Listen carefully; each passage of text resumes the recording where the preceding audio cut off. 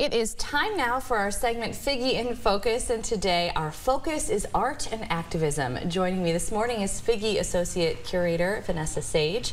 Vanessa, welcome back. Thanks for being here today. Thank you for having me. We know we're talking about something great whenever you're in studio with us, and uh, this is pretty cool. So, Art and Activism at Tougaloo College. It is the title of an exhibition. It is now on view at the Figge. It's uh, You've been able to go see it only about, what, a week or so mm -hmm. at this point. Uh, so talk a little bit about this uh, collection at Tougaloo College and how, you know, what are people going to see?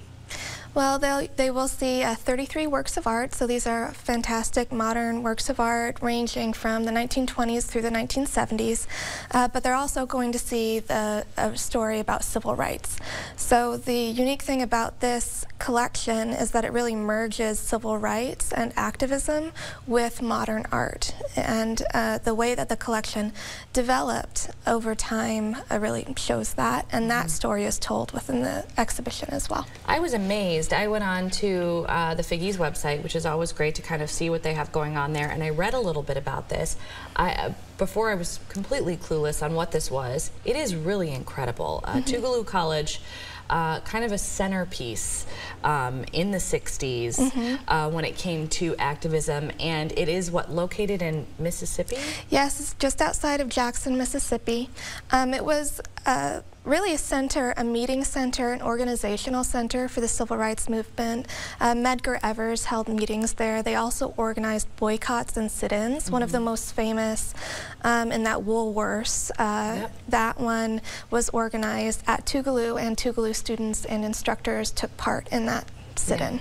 And you can uh, you can really see a, uh, um, a, transition too in the art that people are going to be seeing if they go and, and, and check this out at the Figge. It kind of starts out the earlier art mm -hmm. in one mm-hmm. way, and it becomes something totally new and different. So you can kind of see the path that it takes through through social justice.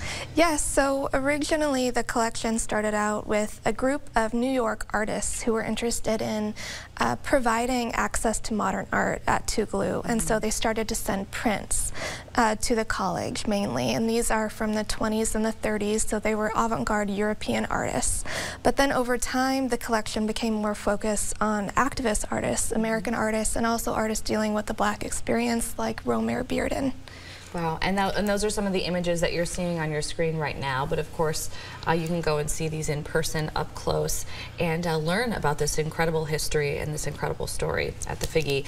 And as always, for more information about any event happening, activities, and exhibitions like this one at the Figge, all you have to do is head to figgeartmuseum.org.